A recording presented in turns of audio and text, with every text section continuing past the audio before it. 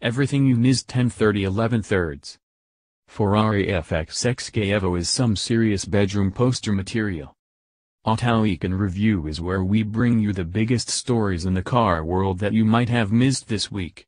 Whether you were actually getting some work done or you stepped away from your computer for a moment, here in number 39, s your chance to catch up and have something cool to talk about over the weekend. A 10-year-old boy in Ohio commandeered a family car for the second time in as many weeks and led Ohio and number 39, as finest on a high-speed chase that lasted over 20 miles, USA Today reports. The chase began.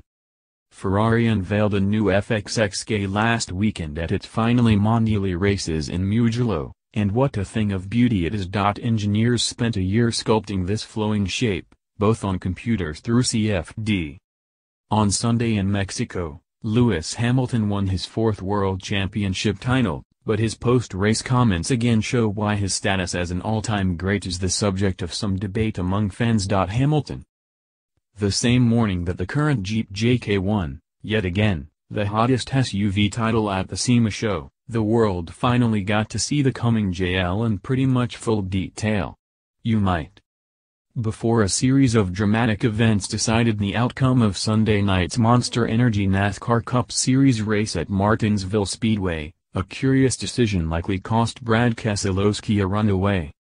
At this year's SEMA show in Las Vegas, Honda officially made the 2.0-liter turbocharged i4 engine from its Civic Type R available in crate form, getting 306 horsepower and 295 pounds-to-foot of torque shipped to while we're waiting for Bugatti to show off its new Chiron, Hennessy revealed its next-gen hypercar.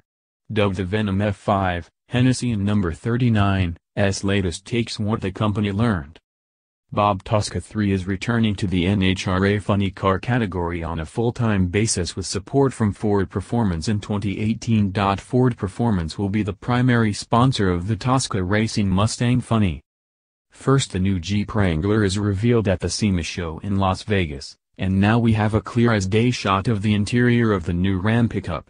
This is the best publicity FCA's brands have.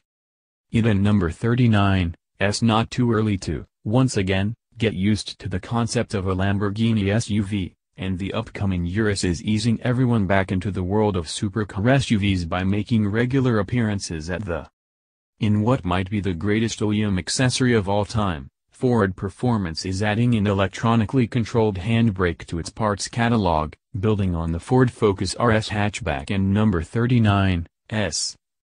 It's the second season for the Haas F1 team, and the best result it has had was back in its second race of 2016, when Romain Grosjean finished fifth in Bahrain. The team is eighth, out of 10, in when Ferrari threatens to leave Formula One, other teams take notice. Mercedes and Renault both made their feelings known about the 2021 engine regulations on Thursday, saying that the changes. Though the Japan market-only Toyota Century first appeared in 1967, it will be 2018 by the time the third-generation version will be available for sale. Powerful, silent, conservatively styled, with the Acura NSX, or Honda NSX as it was known outside of the US, was the first of its kind, a reliable, daily drivable supercar. Since it first rolled out of showrooms in 1990, the NSX has by Autoweek staff. Car news, car reviews, green cars, luxury, other news, supercars, technology, crossover, hybrid, electric, SUV, trucks, spy photos, Ferrari, Ford, Lamborghini, Tesla,